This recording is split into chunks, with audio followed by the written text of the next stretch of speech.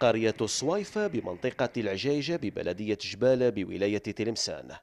إحدى المناطق التي لا زال سكانها ينتظرون نصيبهم من التنمية وإيجاد حل للعديد من المشاكل على غرار الكهرباء. قضية راها في الطريق ما كانش.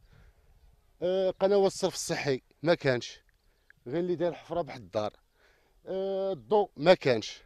القليل اللي راه عنده البوطون عند الدار ودخلوا له. بصح اللي ما عندوش ما كانش. ما عندوش. جايب عند جارو 200 متر.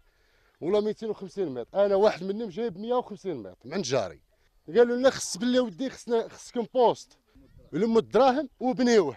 بنيناه لمينا الدراهم بنيناه وراه راه واجد.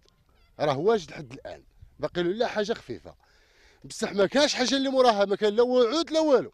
الشبكة هذه تاع الكهرباء هذه كاينة داروها بكري. 3000 فولت وكانوا وعدونا باش.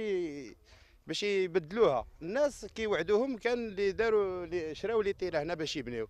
مي لحد الآن ما خلاوهمش يبنيو ويقولوا لهم على هاد الشبكة هذه. لحد الآن مازال ما بدلوهاش. حتى فرحة سكان العجيجة بمشروع هذا الطريق المؤدي إلى قريتهم. لم تكتمل فمدة إنجازه طالت. من ال branchement هذه نتاع النخلة.